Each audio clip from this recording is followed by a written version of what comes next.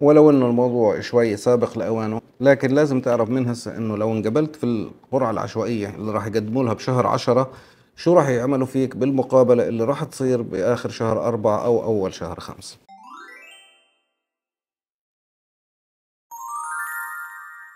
السلام عليكم ورحمة الله وبركاته. أنا محمد ناصر أبو يوسف. بحييكم من قناتي مذكرات ممرض اللي بنتكلم فيها عن التمريض مهنة العظماء وبنتكلم عن السفر وعن الهجرة ومواضيع كثيرة. في فيديو اليوم رح نتكلم عن مقابلة السفارة الأمريكية للمقبولين في هجرة القرعة العشوائية فقط. أهم نقطة لازم تعرفها إنه فيش إشي بصير مع الناس كلها. مش كل إشي صار مع الناس اللي قبلك أو صار مع واحد قبلك لازم يصير معك. في ناس راح تقول لك عملوني على الشكل في ناس بقول لك رفضوني هيك زناخة بدون سبب في ناس راح يقول لك الموظف كان رايق وقال لي أنت مقبول مع انه مع إنه أنت مش مستوفي للشروط. مش شرط إنه غيرك يتغلب إنك أنت تتغلب ومش شرط إنه ربنا يسرها لغيرك إنه ربنا يسرها لك فكل واحد يعامل معاملة خاصة منفردة فيه. رقم اثنين اللي بقول لك أمريكا بتعامل على الشكل موظفين السفارة بتجبروا بالناس موظفين السفارة بيختاروا اللي بدهم إياه. لا يا حبيبي الموضوع مش على كيفهم ولا على كيف اللي خلفهم. الموضوع أنه في كذا شرط أنت لازم تحققهم. إذا حققت كل هاي الشروط تطلع غصبا عن السفير وغصبا عن جو بايدن نفسه. فسيبك من هذا الحكي. لكن المثل بقول اللي ما يطول العنب ها بظن عنها يقول. كيف بده يبرر الواحد إنه ما انقبلش بالمقابلة؟ راح أقول لك هم زنخين هم دمهم ثقيل وشايفين حالهم وبتكبروا وبنقوا اللي بدهم إياه. لا يا حبيبي أنت طلبوا منك شروط ما حققت ولا واحد. اعمل حسابك إنه لو طلع اسمك بشهر خمسة مقبول لسه في مقابلة للسفارة ممكن تنرفض فيها وممكن تنقبل. وبعديها بشهر واحد أو اثنين السنة اللي بعديها راح تسافر. أول ما تنزل من الطيارة في مقابلة ثالثة ممكن تنقبل فيها وممكن يرجعوك على بلدك عادي جدا. في فحص طبي بنعمل السفارة الأمريكية. هذا الفحص بالذات هو نفس الفحص لكل الناس اللي بيقدموا لأمريكا سواء مقدم على قرعة عمل دراسة سياحة شو ما كان يكون الكل بيعمل نفس الفحص وبيسألوه عن نفس الأمراض. أنا عملت فيديو قبل هيك الفحص الطبي قبل مقابلة السفارة الأمريكية ارجع له تفهم كل تفاصيله. توقع بكلف 170 أو 200 دولار لكل فرد من أفراد الأسرة يعني إذا أنت متجوز هذا الحكي. لازم يكون معك صور شخصية بمواصفات السفارة الأمريكية وراح أعمل لك فيما بعد فيديو مفصل شو هي مواصفات الصورة الشخصية اللي بتنقبل في السفارة الأمريكية.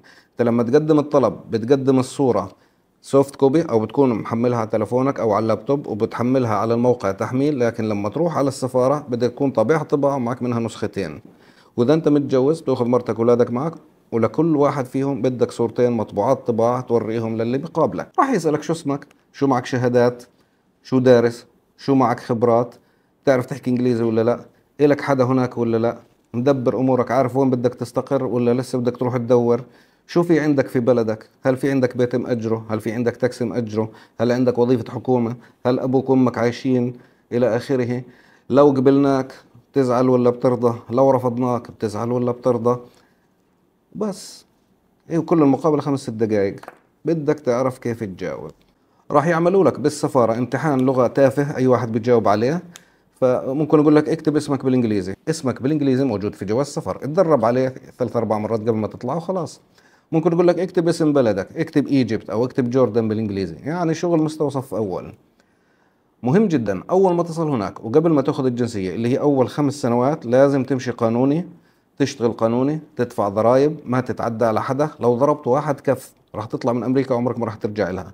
فأول أنا بنصحك طول عمرك تمشي قانوني. بس أول خمس سنوات هذول مهمات جدا لأنه أتفه غلطة راح تخليهم يسحبوا منك تصريح العمل والإقامة ورجعوك على بلدك. أول خمس سنوات بيفرقوا معك جدا جدا. وبرضه بدك تكون بنيت لحالك سمعة وبنيت لحالك سمعة ائتمانية. في شيء اسمه credit score بعدين بفهمك شو هو. هذا لازم تبلش فيه من أول يوم. بمعنى إنه كل شيء بتبيعه تشتريه بتأجره كل قرض بدك تاخذه بدك تكون صادق وتسدد أقساطك بمواعيدها لأنه في شيء اسمه credit score اللي هي سمعتك المالية. كل ما تأخرت بقسط كل ما تداينت وما سديت كل ما عملت مشكلة من ناحية مالية هذا الرقم بقل ولما يقل ما حدا برضى يداينك مصاري. اعمل حسابك إنك لو كنت متجوز وقلت راح آخذ أولادي معي في المقابلة فلازم تأخذهم عن جد.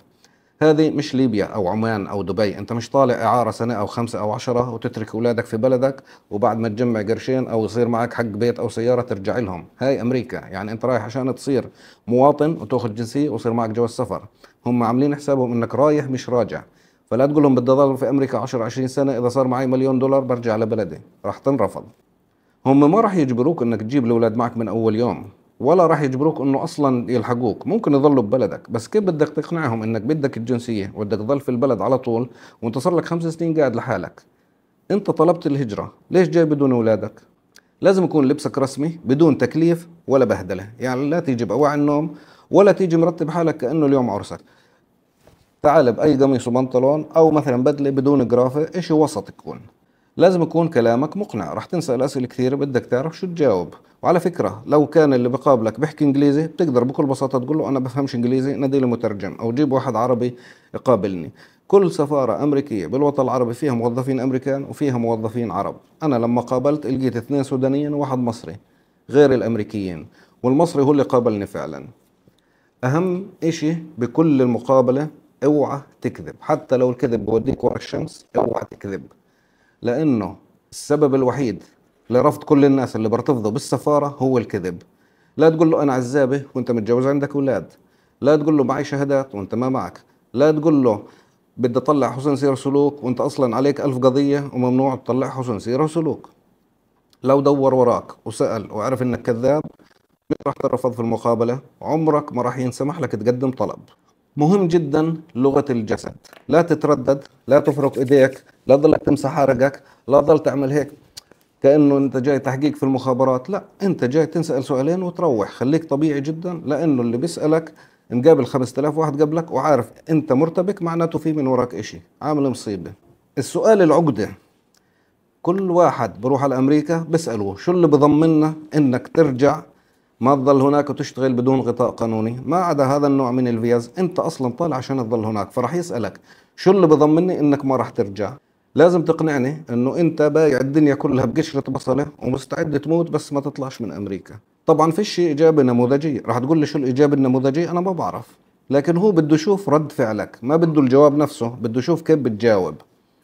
لازم توريه إنك مش سائل وإنك طالع من البلد مش راجع لها ممكن يسألك لو رفضناك شو بتعمل؟ شو بتجاوبه؟ راح تقول له عادي بقدم مرة ثانية. الرفض في المرة الأولى ما بيأثر على تقديم المرة الثانية. أو راح تقول له ما بدكم تقبلوني بقدم لبريطانيا لفرنسا لكندا لأستراليا في سفرات غيركم. وقتها راح أقول لك هذا الزلمة واثق من نفسه وراح تنقبل.